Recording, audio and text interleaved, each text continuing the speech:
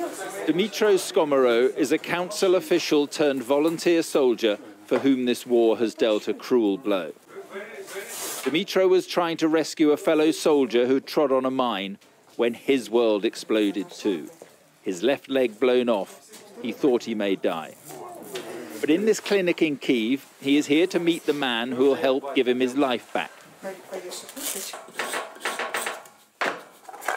For 43 of his 68 years, Volodymyr Fedorov has been making molds and fitting prosthetics. But never has he crafted as many as he has these past few months. But it's sad that you are so busy.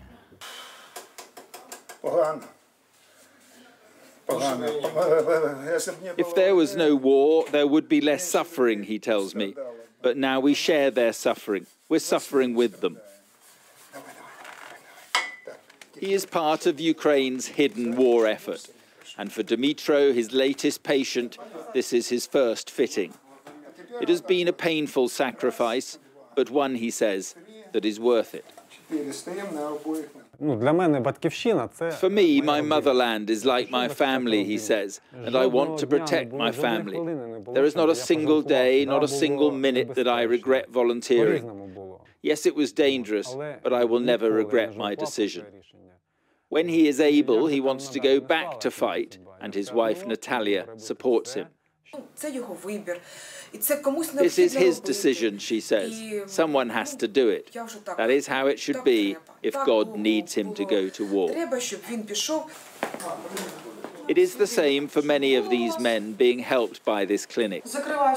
Under therapy, working hard to get back on the front line. As many already have. They claim 60% of amputee soldiers in Ukraine are making it back. But the road to recovery is a long one, and Dimitro is at the beginning of it, Natalia recording every tentative step.